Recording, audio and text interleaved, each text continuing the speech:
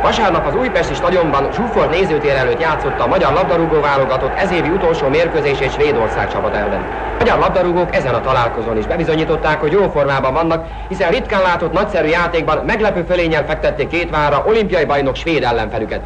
Erre a vasárnapra, a nagy mérkőzésre elállt a hetek óta tartó eső, kisütött a nap is, és így pompás időben, eszményi labdarúgó időben indított el útjára a labdát Jepson a svéd csapat középcsatára. A magyar csapat lépett fel rögtön támadóan, már az első perc végén Deákhoz kerül labda, ő azonban közvetlen közelről nagy helyzetben kapu mellé küldte a labdát. Továbbra is a magyar csapat maradt támadásban, nagyogan játszik a magyar ötös fogat, szépen adogatnak, és így közelítik meg a svédek kapuját. Kocsis hozza fel most a labdát, középre játszik, majd ismét hozzá kell a labdát, Cselcsinál, gól!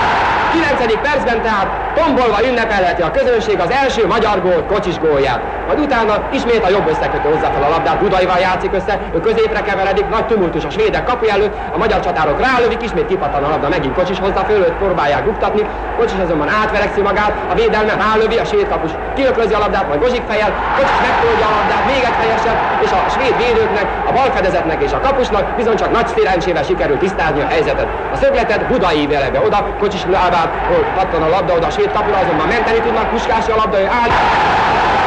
Félidő derekám, tehát puskás lövése nyomán megszületett a második magyar gól is és ez a gól újabb lendületet adott a magyar csapat támadásainak. Rendre máshol az údultak a lövések a svéd csapat kapusának kapujára, azonban a svéd védők ebben a játék részben a félidő második felében nem álltak hadilában a szerencsével. Sikerült megúszni a két góllal. A második félidőben azonban tovább javult a magyar csapat, még jobban kibomborodott nagyobb játéktudása, és különösen Bozsik volt az, aki állandóan támadásba küldötte, csatába küldötte csatárait.